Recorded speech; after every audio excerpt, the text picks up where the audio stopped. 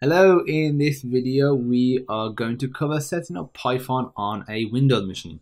So it's really simple. Go to your web browser, go to the website python.org and go to download. You can specifically go to Windows, but you'll usually detect what platform you're on. So just select the latest version. But if you go to view the full list of downloads, you can download older versions as well if you specifically need an older one. And chances are if you need an older one, it'll be Python 2 because there's certain frameworks, for example, that re require Python and they're tested fully on the old version of Python, aka Python 2. So that's just something to bear in mind if you need an older one.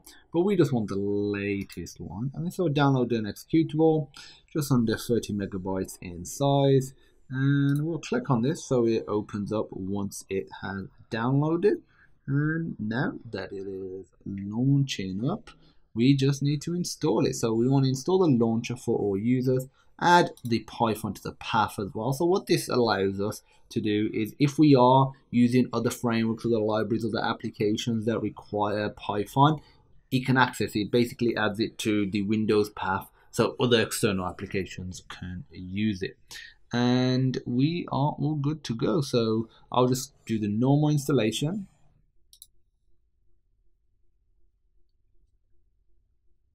and it doesn't take long at all. It just takes a few seconds.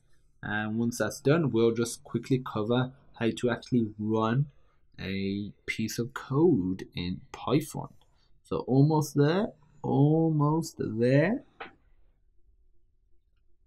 It's teasing us it's it's almost at the end. Installation's almost complete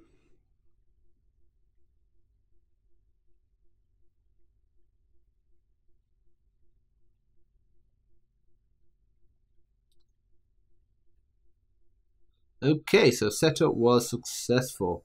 So disable path length limit. So change your machine configuration to allow programs including Python to bypass the limit. So yeah, why not? We probably won't need that, but yeah, why not? Okay, so it's installed a bunch of different pieces. So we want the IDLE. So this is just the ID that will allow us to run Python code. So we're just going to create a new file. You can open up a file if you already have one. But I have one, I'm going to create a new file. I'm going to write in here print. Again, this isn't a programming tutorial on how to code in Python. We'll have separate videos after this one covering all the different facets of programming in Python. This is just to show you how to run Python code. I'm going to save on the desktop. I'm going to call it hello. And it uh, it's automatically detected the type. And the extension if you are curious is py for python.